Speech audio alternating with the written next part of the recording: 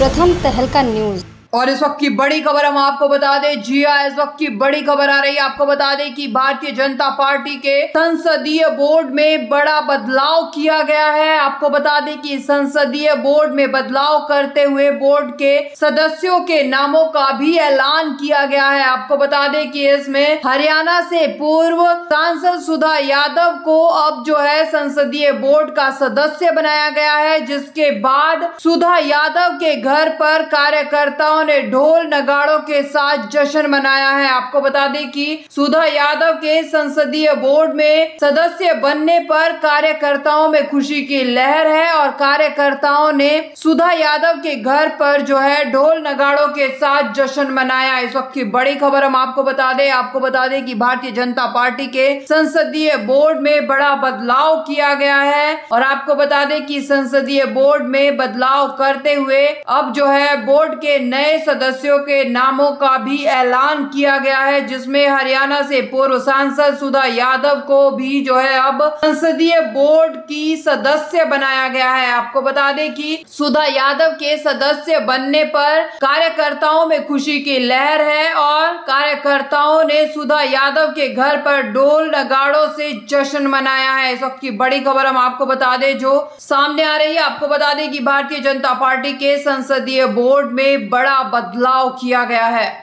देखिए, मैं अपने केंद्रीय नेतृत्व का, आदरणीय प्रधानमंत्री नरेंद्र भाई मोदी जी का, हमारे राष्ट्रीय अध्यक्ष माननीय नड्डा जी का, हमारे गृह मंत्री अमित भाई का हृदय से आभार व्यक्त करती हूँ कि उन्होंने मुझे इस लायक भी समझा और ये मुझे पे जिम्मेवारी दी है और निश्चित रूप से मैं उनकी अपेक्षाओं पर खरा उतरने का प्रयास करूँगी। देखिए, मैंने कभी जीवन में क्या मिलेगा इस बारे में कभी सोचा ही नहीं है।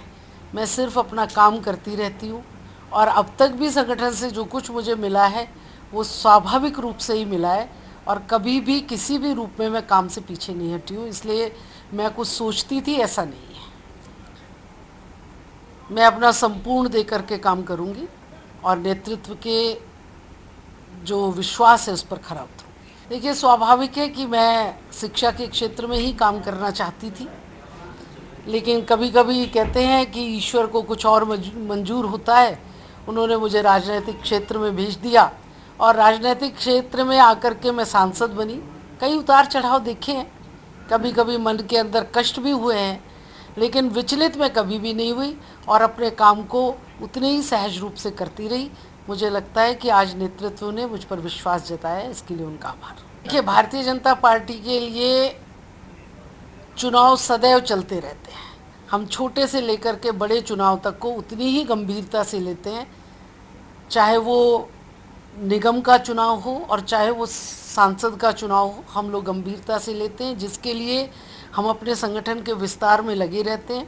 और आज आप लोग देखते भी होंगे कि आज भारतीय जनता पार्टी का संगठन बूथ से भी नीचे पन्ना प्रमुख तक पहुँच गया है। ये कार्यकर्ताओं की मेहनत का परिणाम है। उनकी मेहनत पर मोदी जी के नेतृत्व पर 2024 का चुनाव भारतीय जनता पार्टी बहुमत से जीतेगी।